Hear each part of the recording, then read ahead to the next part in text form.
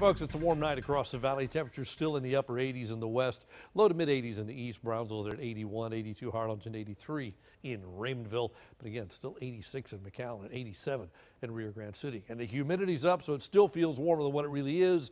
Still feels like 88 in Brownsville, still feels like the same thing in Weslaco. These are your dew points now, and these are getting into summer-like levels as you might expect, especially in the eastern part of the valley. We'll put the average on the muggy meter of about 75. So we're definitely up into the very humid category, which is what you expect this time of year. And again, we're likely to stay in that range now for a while until we get something to change the air mass, and there's nothing that's going to do that anytime soon.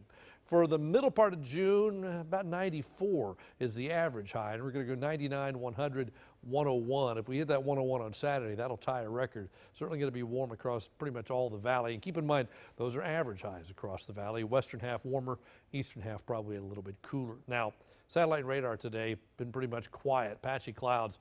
That's about it. And you can see that overnight tonight, what clouds are out there should fade away. And then tomorrow, it's mostly sunny and hot. Once again, temperatures at least as warm as today. We continue going forward into Friday. Same thing, partly to mostly sunny, hot again.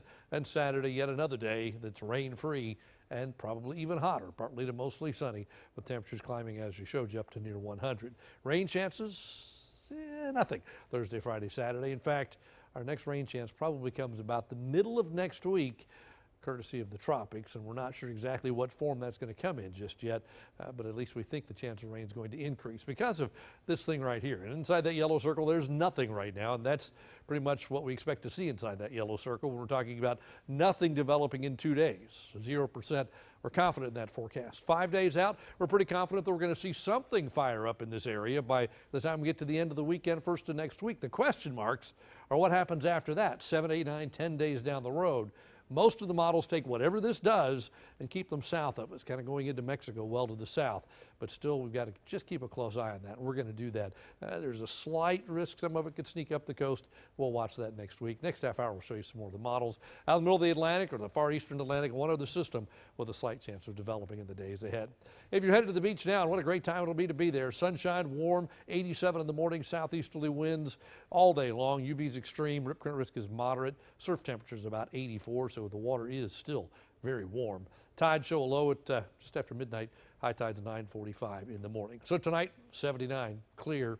That's a muggy night tonight, southeasterly winds. Then tomorrow, a lot of sunshine, a lot of heat. It's going to be humid as well. Highs up to 99 degrees. Here we go. Next seven days, it actually gets up to warmer numbers than that. 100, 101. Sunday for uh, Father's Day, 98. And then next week, we kind of bring it back down, introduce the chance of a shower by about Wednesday. That is your very warm, updated First Warn 5 forecast. Joel.